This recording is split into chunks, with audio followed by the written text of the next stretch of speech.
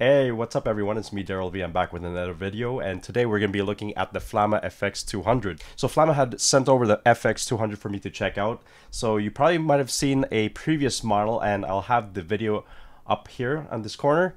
And previously I had worked on the uh, FX100. We're going to show you how I set up my main rhythm tone using this unit. So what I like about this particular upgrade is that what we have here is we have a touch screen. So that is a very nice upgrade. So that's the first thing that I noticed. You have all your effects here. We have starting with the effects to the overdrive, amp, cab, effects loop, noise gate, EQ, mod, delay, and reverb. So what we'll do is that we're going to be starting from scratch as always. So I'll show you the exact rhythm tone that I got from the song that you heard earlier. What we'll do is that we're going to choose an entirely empty bank. So what we'll do, choose it empty. So what you'll hear is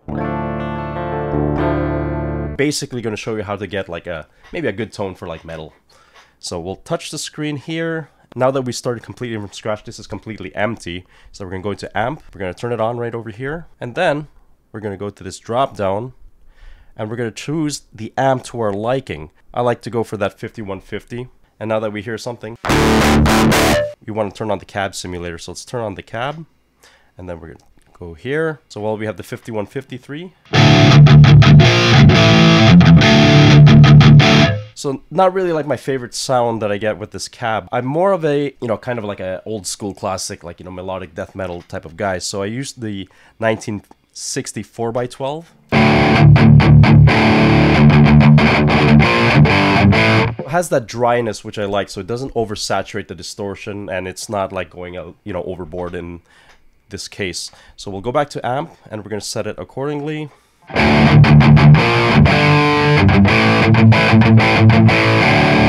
So that's mainly the main, not, I wouldn't say it was a secret to um, like my sound. I just like to have a very, very type of dry gain coming into these multi-effects unit. While we have the basics here, we're going to go to the overdrive and we're just going to choose like, you know, the typical uh, booster. So let's, going to go to that drop down tube screamer. Let's put the volume all the way up. This is how it sounds with it off.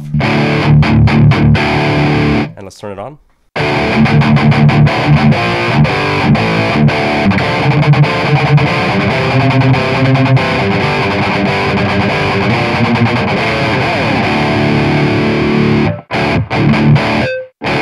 And because we're working with digital products right here, I like to add a little bit more gain.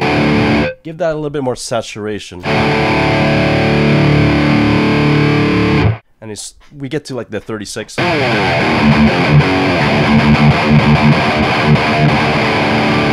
So that's pretty much how we get like a basic metal tone using the Flamma FX200.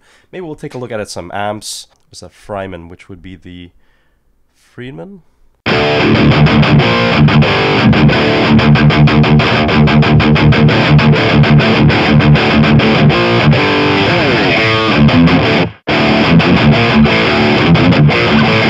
So has that rock tone.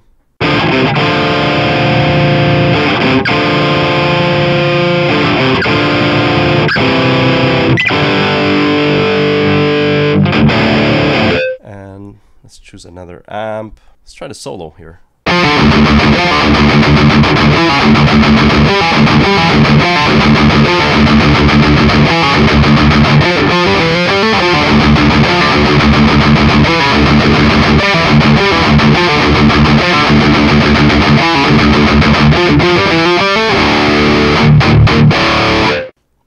Solo sounds pretty good. Uh, let's go here. Cali, Texas. OD.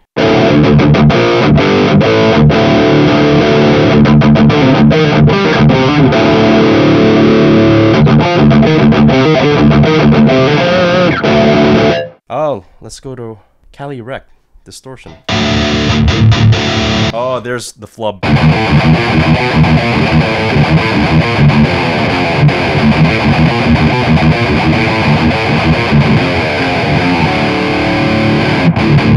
And yeah, so this Flamma has it in terms of like, you know, distortion and with its basic uh, setup here, I think we can get like any type of good metal tone, you know, out of this unit. Now that we set up our rhythm tone, we can actually set up our lead tone by just doing the following.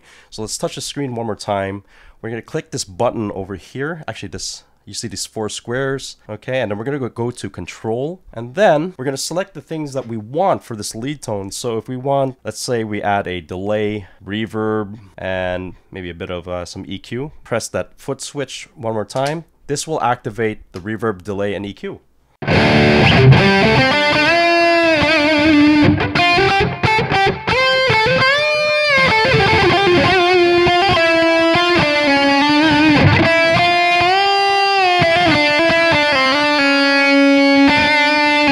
That's pretty much how we set up a lead tone. Very, very simple. And if we want to go back to the rhythm, boom. So that's the rhythm tone if we the lead.